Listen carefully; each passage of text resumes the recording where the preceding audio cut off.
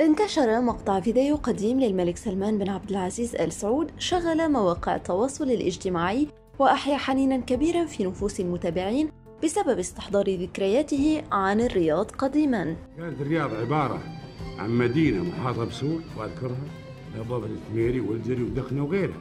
الملك سلمان تحدث عن الرياض عندما كان أميرا لها وقال كان هناك شارع واحد يبدأ من دراوزة المربع الجنوبية إلى قبل بوابة ثميري عند مدينة الإمام فيصل.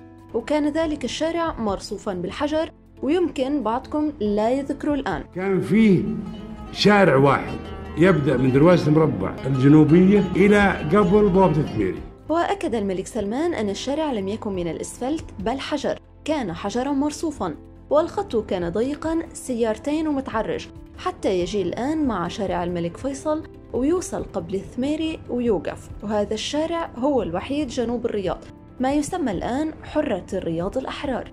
حتى أن شوارع المدينة في تلك الحقبة لم تكن من الإسفلت بالطبع وهو ما يؤكده الملك في مقطع آخر. الرياض. فكانت عاصمة المنطقة منذ الأوقات وأضاف خادم الحرمين الشريفين أنه لم يكن يوجد مكان يباع فيه الطعام على الإطلاق إلا في حرة الأحرار. بقوله أذكر نحن كنا صغار نشتري منه الأكلات الخفيفة. والسبب في وجود أماكن بيع الأطعمة هناك فقط. هو قدوم سيارات النقليات اللواري كما اسمها التي تجيء من المنطقة الغربية أي من مكة ومن جدة محملة بالبضائع. منوها إلى أنه لم يكن هناك لا مقهى ولا مطعم ولا مخبز إنما دكاكين تسوي مطبق ومشبك وسمبوسة. خمسة قروش حط لي بريال الله يسر عليك.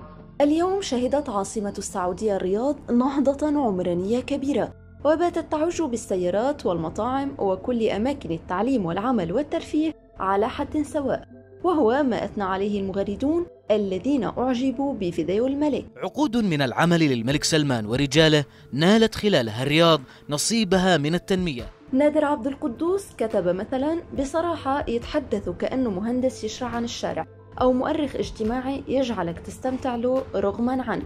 بارك الله فيك أيها الملك. فيما كتب حساب آخر هذا يفسر تماما النهضة اللي نعيشها الآن في عهده لأنه إنسان نهضوي تربوي تطويري وهمته فوق. الله يحفظه ويخليه لنا.